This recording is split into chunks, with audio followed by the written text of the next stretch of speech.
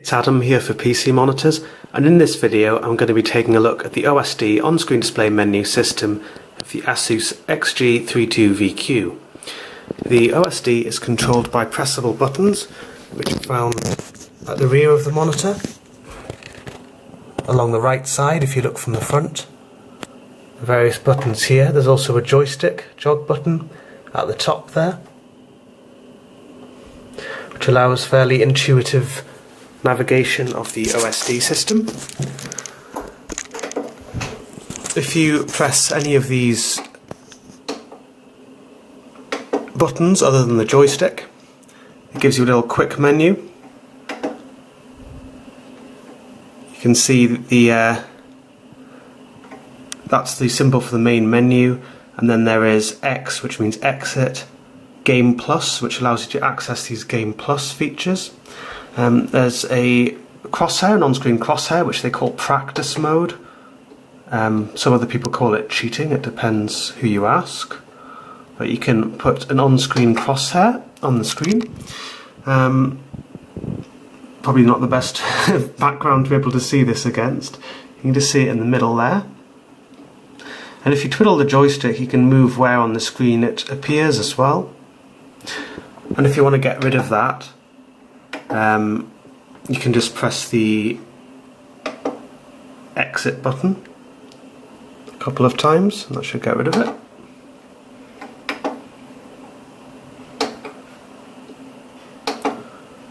So there's the green one, one of the green ones.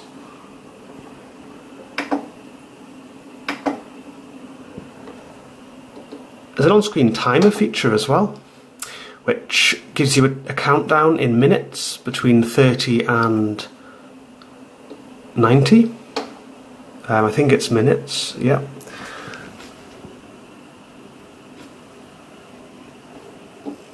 And you can again you can adjust the position of that with the uh, the joystick if you need to.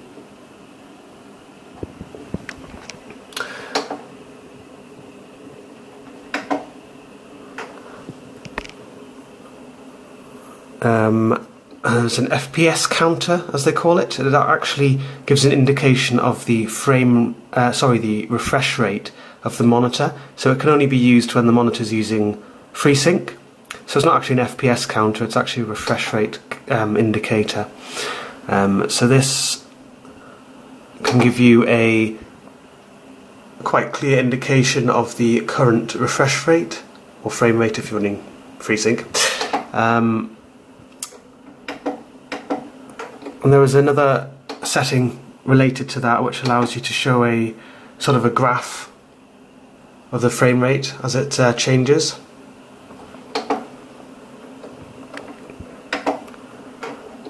There's a display alignment feature which is just for aligning multiple monitors correctly or uh, aligning other things next to the monitor correctly or whatever you happen to be doing. So just puts some guidelines on the screen to help you align the uh, units properly. There's also G, um, and this is Game Visual, so that's the name that Asus gives to their presets at the moment. As you can see, various different settings there. Um, scenery mode, racing mode, cinema mode, RTS RPG. Um, generally, these just upset the image. I mean, Asus isn't alone in having presets which give quite cruddy image quality. Um, I mean, this scenery mode is massively oversaturated, for example. Racing mode, the default, is perfectly fine. Um, cinema mode, it just kind of looks, again, oversaturated. It's just a bit weird. RTS RPG, um, again, not so obvious on the video. Again, oversaturation issues, um, problems with shade variety, same FPS mode, Um, sRGB, explore that in the review. MOBA mode, very interesting, very artistic with this sunflower background. That seems to just highlight um, red or orange colours and makes everything else grayscale. Uh, I don't play MOBA games, I don't know what the advantage of that is. Um, maybe that makes sense to some of you, I don't know. And this user mode, which just Um, it's very similar to racing mode, but gives you the um, a couple more options in the OSD, or at least one more option that allows you to adjust the saturation. There's a there's also a a power feature which is quite self-explanatory. It just turns the monitor off um, or turns it onto uh, standby really, and then the uh, the LED goes out, the monitor looks like it's off. It does draw a little bit of power like any monitor unless you're unplugging it at the wall or turning it off at the wall. If you just twiddle the joystick when you're not in the main menu system or any of the sort of quick menu system options, if you just twiddle the joystick it doesn't do anything. Uh, Samsung and some other manufacturers actually assign shortcut keys such as allowing the user to quickly adjust brightness um, or other settings by just twiddling the joystick. But uh, you know, ASUS have kind of missed a trick there. They don't do anything. If you press it in though, you get onto the main menu system. So there's game visual. Um, this has various different presets which I've already been through. Um, blue light filter, the low blue light settings. There are four different levels. Zero is off, uh, one, two, three, and four with 4 being the strongest, and on this monitor 4 is the only setting that actually does something useful, other than off of course.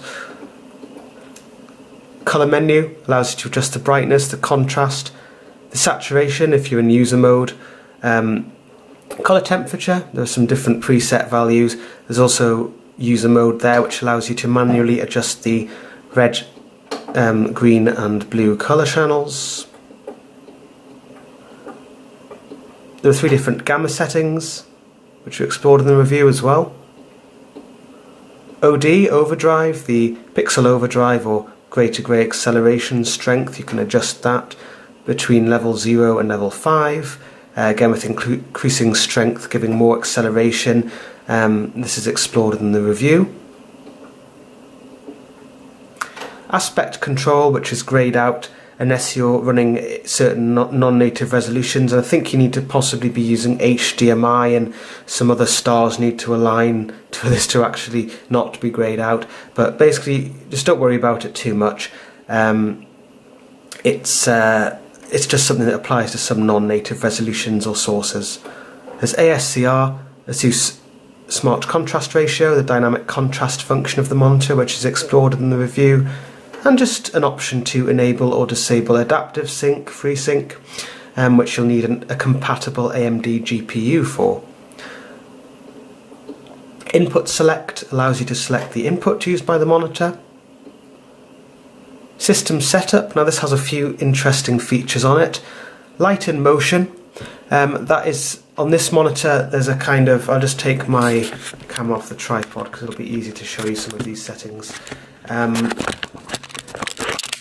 on this monitor, there's a projection, a little red projector, um, which gives you a little ROG motif by default, Republic of Gamers motif. If you set you, you set the brightness level um, one, two, or three.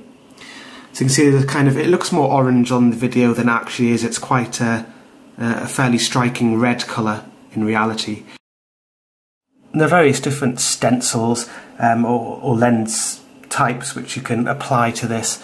Uh, you can create your own if you're artistic as well and uh, want to customize it, or you can just have it as a blank kind of red light projection as well. I actually find it a bit distracting even on the lowest levels, so I prefer to have it off, but it's a nice little feature if you like that kind of thing. There's another uh, feature, Aura Sync, um, I'll come on to in a little bit. Aura RP RGB, sorry. Um, there's a, a, ring of LEDs at the rear of the monitor. These aren't bright enough to actually be seen um, against the wall, even if you've got the monitor quite close to the wall, as I have here. I know the room is uh, illuminated at the moment. I'll shut the lights off so I can show you this a bit better. But um, I just have this feature disabled simply because it doesn't do anything unless you are able to face the rear of the monitor or someone else is able to admire the rear of the monitor because it's just not bright enough to reflect onto the wall or anything like that. So I'll show you the different settings it has. You can change the animation pattern, you can also change the colour of the light. Um, the default is actually rainbow, which just cycles through various colours. There's also an information section, I'll come onto this in a little bit, but part of the information it gives you is the current Aura uh, sync or Aura RP, RGB setting that you have enabled. So I've got it on rainbow at the moment. You can see the ring there. It, the ring itself um, cycles various different colours there.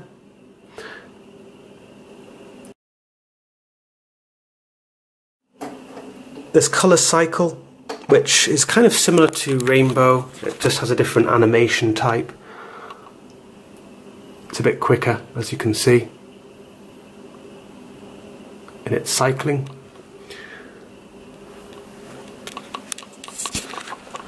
Or you can select the colour yourself, static. You can have red, green, blue, uh, cyan, magenta or yellow. So I'll just show you uh, yellow, kind of, not sure if rainbow included yellow. I think it did, but uh, so, you know, if you want it one particular colour and staying on that colour, and again it looks a bit more yellow um, in reality than it does on the video. It probably will look a slightly sort of snotty green colour on the video. You can apply various different um, animations to it, so you can have it um, breathing in various different colours as well.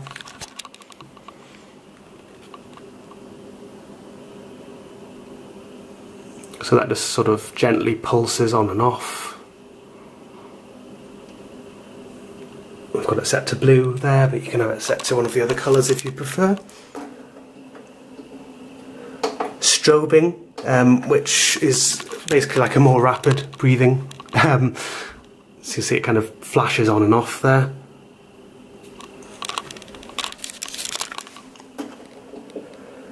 or you can have it switched off and it makes no difference to me um, other than it probably uses a bit of power so I just keep it off um, as I can't benefit from it when I'm using my computer normally.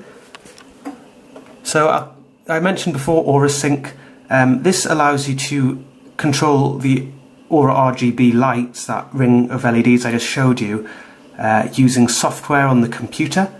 There's the software that you need is included with the monitor on a CD. Um, I know many of you won't actually have a CD drive. Most things are digitally distributed these days. Um, some of you might not even know what a CD drive is, but um, I've also given you a link to on the review where you can download the software. Um, all you need to to know is that you'll you'll need to have the PC connected to the monitor using the USB 3 cable uh, into the upstream port of the monitor so that the uh, PC can give the right signal to the uh, lights to control them basically. And if you've got other AuraSync peripherals uh, you know the same software is used to control them as well so you can have various different uh, lighting effects on your other peripherals as well and your monitor can kind of join in. Um, I mean yeah it's a kind of cool feature but you know for most users I feel it's quite normal to have your monitor against a wall like I have here and it doesn't really do anything in those situations. You can adjust the volume uh, or mute the, uh, the volume for the monitor. It has a 3.5 millimeter jack so anything connected to that. Uh, it doesn't have integrated speakers. So that's just to control the volume of anything connected to the 3.5mm jack. USB hub you can have that on or off during standby. You might want it on during standby if you want to use the peripherals, um, even if the monitor's switched off or on standby. Um, and the reason you might want to have that off during standby is if you don't use the USB ports, because um, they'll use slightly more power when the monitor's on standby if you have them set to on during standby, even if they're not being used. USB setup, um, sorry, OSD setup, you can change the timeout period, which is how long after the last button press before the screen um, OSD system automatically disappears. Or you can press that X button instead to just get rid of it manually if you prefer. DDC slash CI, plug and play functionality of the monitor allows certain software to control it, um, control the OSD specifically. There's a transparency effect which you can alter, so you can increase the transparency level or decrease it for the OSD. You can change the language that the OSD is displayed in. There's an information section which just rehashes what's shown in the top right all the time, and I'll come on to that very shortly. There's a key lock feature which will just lock the OSD keys so that younger family members, for example, can't fiddle about and mess up your settings. There's a power indicator which you can turn on or off. Um, I should have really shown you that before at the start of the video, that's what I'd usually do. But you can see it just glows a gentle white um, and it runs from the front to the back of the screen. It's a kind of vertical slit design. Um, that glows amber when the signal to the computer's lost. Um, unless you turn the monitor off or put it on standby using the, the power button feature. Um, or if you prefer, you don't, for whatever reason, don't like it uh, glowing when the monitor's on, you can just have it turned off and the monitor's on instead. There's a power key lock feature as well, which is quite similar to the key lock but specific to the power function. So you can stop people turning your monitor on or off, or perhaps uh, you accidentally pressing the power button, which doesn't generally happen very often in normal situations, but you never know. And there's an option to reset everything to the factory defaults. Uh, my favourites, um, I kind of have mixed feelings about this feature. Um, it, allows you to store various sets of settings, so that's everything on the menu, uh, setting 1, 2, 3 and 4. So it's quite useful in principle. Um, and I mean it is useful as well, uh, and you can easily recall them. Uh, but the issue I have with it is the fact that they've split, it out into so setting one I can load my setting one. Or if I mess some setting mess about with some other settings and want to save uh, save everything you can save it. I just feel that the the way they've done it is a little bit convoluted. Um, so the way you have to go okay setting 2 and you have to go load, yes. It's just too many steps. It should be something that we can, uh, you should be able to recall your settings just with one click really. Um, so they should have probably split it out in a different way. Uh, but you know, it is useful to be able to re to recall various different settings. For example, my setting two settings are actually a low blue light uh, mode which I use for the evening. Uh, not when I'm testing, but just, just for my own viewing comfort. And setting 1, they're just my normal settings. So, I mean, I like them in principle, and they are useful, but I think they could have been a bit better implemented. So finally, that little information section, uh, that shows you the input that's used on the monitor, so mini display port, which I've got it connected to at the moment, the current resolution and refresh rate, uh, the current preset mode, the game visual mode that you're running, what the Aura Sync feature's doing, if anything, um, and just the a reminder that it's the ROG Strix XG32VQ. Um, interesting thing, the refresh rate, it's quite useful. If you've got FreeSync active, um, I'll just open something so FreeSync is used. Uh, if you've got FreeSync active, it'll actually um, show you changes in the refresh rate alongside the frame rate because that's what FreeSync does. So if you see that sort of going around all over the place and shifting, so it's not just a static 144 hertz, it means FreeSync's active and it's doing its thing. You can see it's fluctuating a bit there. Um, so it'll just show you what refresh rate the monitor is currently displaying in real time and I'll give you an indication of your frame rate if you're running FreeSync as well. So there you go. Um, I might as well show you just a final thing. I might as well show you the uh, FPS counter now because it'll actually do something. Now I've got FreeSync active and it's varying. So you can see there, it's uh, showing you your current frame rate or current refresh rate of the monitor and there's a little graph showing you little fluctuations, your short-term fluctuations in that. So that's quite useful as well. So that's really all there is to the OSD on-screen display menu system of the ASUS XG32VQ. Be sure to check out the full review on pcmonitors.info. There's a link to that um, and information about how you can support our work in the description of the video.